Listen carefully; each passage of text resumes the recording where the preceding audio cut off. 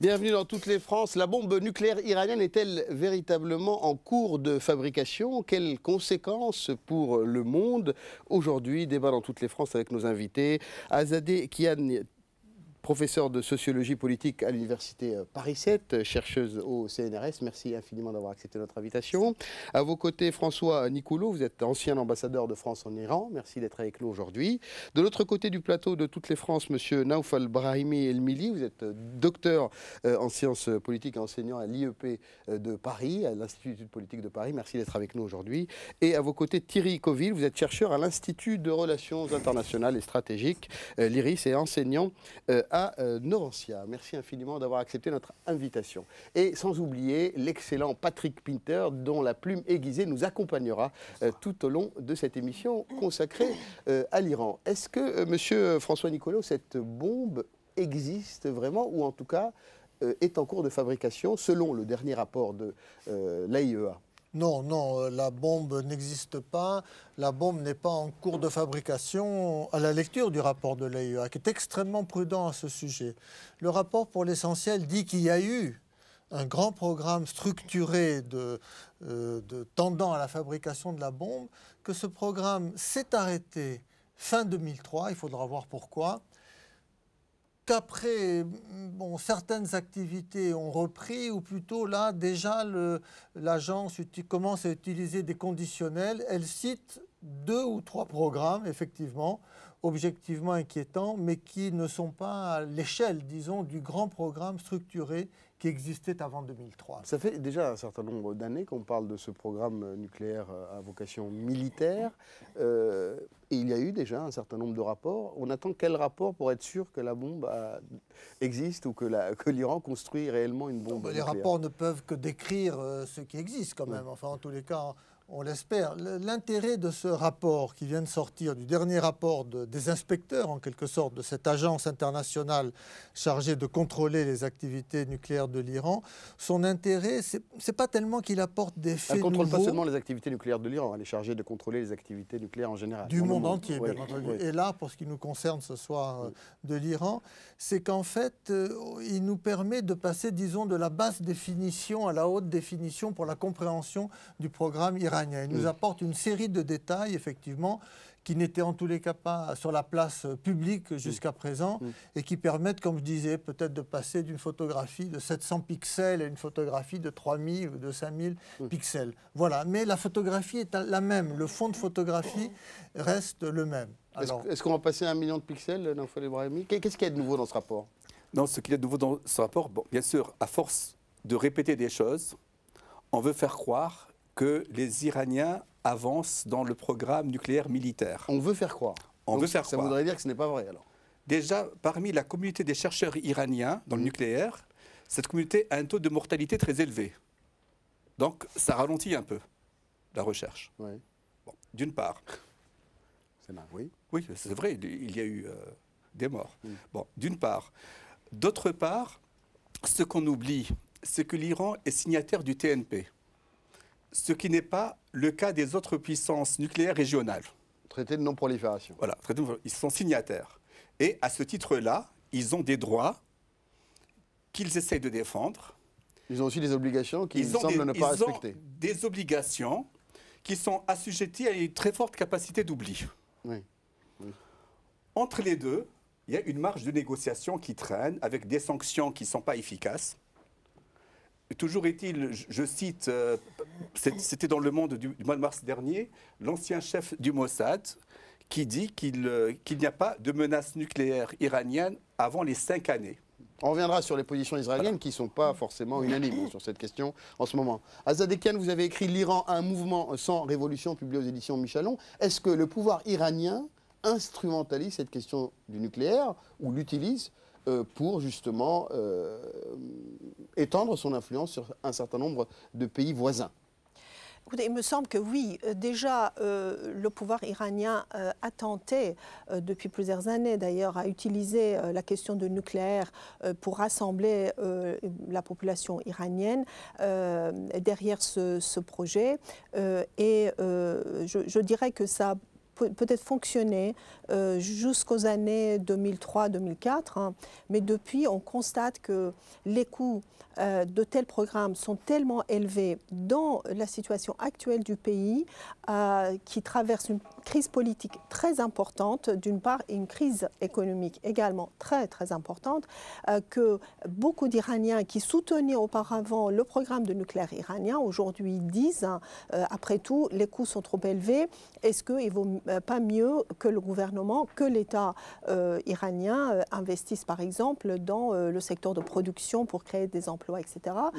Est-ce qu'il n'y a pas d'autre moyen d'asseoir l'autorité de l'Iran dans la région travers le nucléaire D'autant que ce qu'on peut constater, que j'essaie aussi d'aborder, c'est qu'à mon sens, à partir de 2007-2008, hein, les gardiens de la révolution ont commencé vraiment à avoir la, la, main sur le dossier du nucléaire iranien.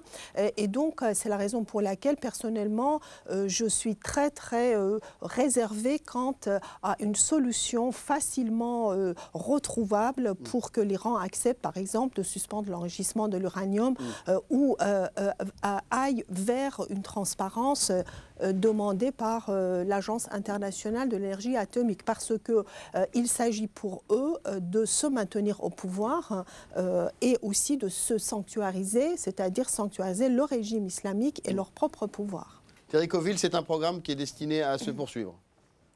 Oui, je pense que on nous répète sans arrêt qu'il faut évaluer les politiques publiques.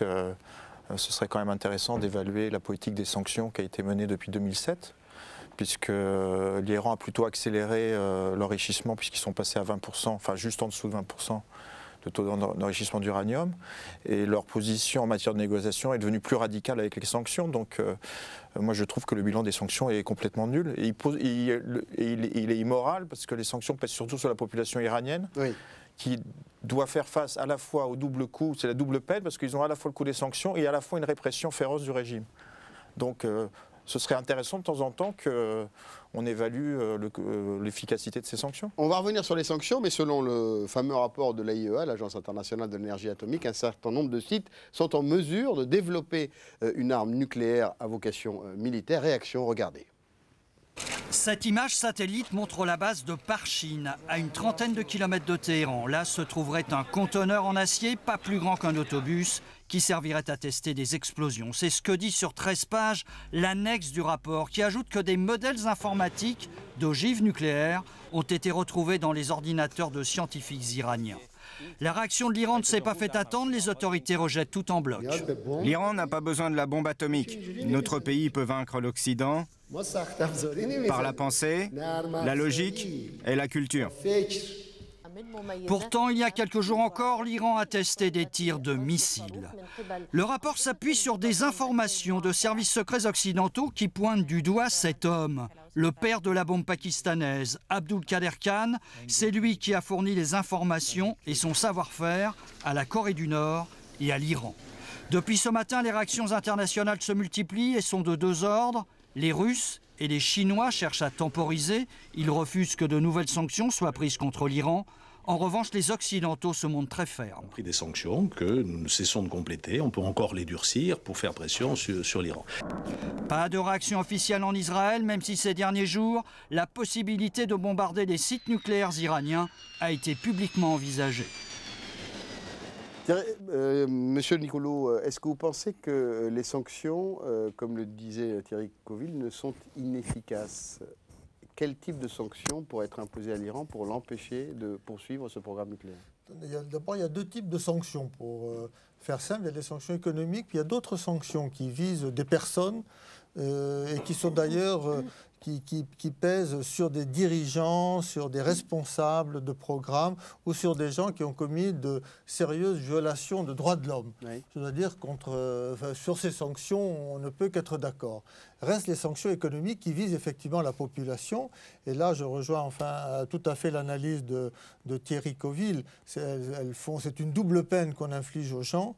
Et de fait, euh, l'Iran ne cède pas. Et ça, je peux dire, je l'ai vécu, chaque fois qu'il y a un nouveau train de sanctions, parce que ça fait comme des années que voilà, tous les ans, on vote un nouveau train de sanctions économiques et financières, on se dit, cette fois-là, c'est la bonne. Là. Cette fois-là, ils vont céder. Là. C'est bon, c'est bon. Mais vous avez raison, il y a des sanctions qui identifient des personnes ou des entreprises ou des biens qui sont euh, à l'étranger. Et puis il y a les sanctions plus globales, plus générales, qui touchent effectivement la population iranienne. Simplement, ces sanctions perdurent depuis un certain nombre d'années et semblent inefficaces sur le terrain. C'est-à-dire comment fait le régime pour contourner ces sanctions? Euh, on a parlé des soutiens, par exemple, en tout cas du refus de voter des sanctions de grandes puissances comme la Chine, la Russie. Euh, est-ce que, est que, ces puissances collaborent avec le, régime iranien? Comment ça se passe? Bon, je veux dire, là encore, il y a alors, une autre façon de, de, lire les sanctions.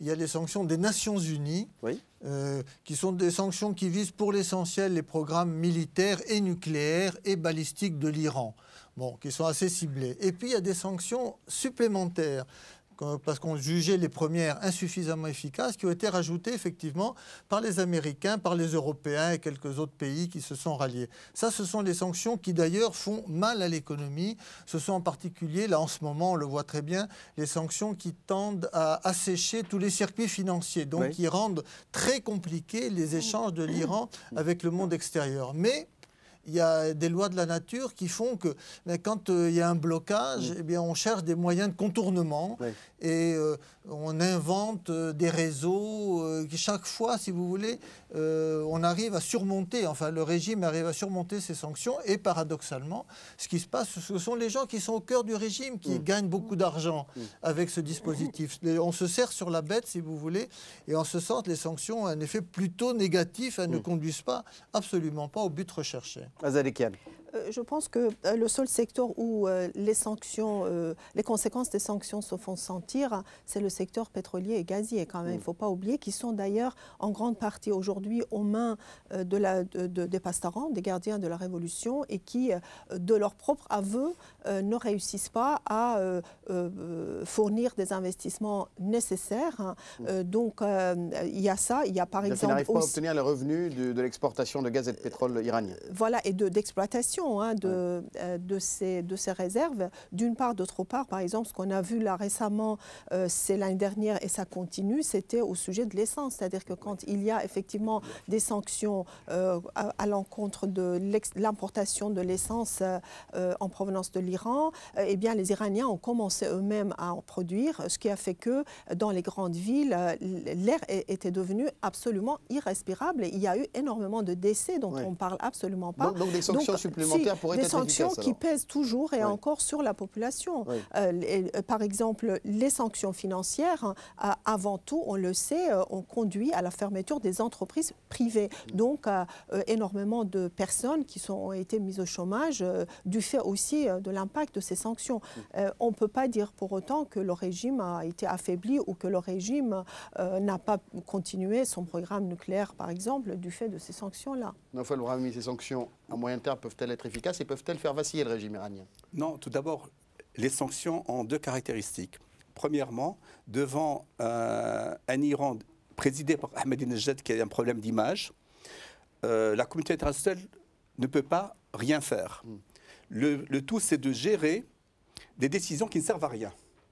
Alors, quelles sont les décisions qui servent à rien? Les sanctions? Le vote des sanctions par l'Organisation des Nations Unies? la première, salve, la première salve des sanctions, c'est la, loi d'Amato, hum. où on a interdit tous les investissements en Iran supérieurs à 20 millions de dollars. Hum. Ce qui fait que l'Iran a un vrai problème de produits raffinés. Hum. Euh, aujourd'hui, l'Iran produit deux fois moins de pétrole que sous le Shah. Or, la technologie a avancé. Oui, mais Azadeken dit que ça touche essentiellement la population, que le régime n'est pas, pas euh, touché. Le régime n'est pas touché. Le, comment dirais-je? Le meilleur exemple, c'est le voisin irakien, Saddam.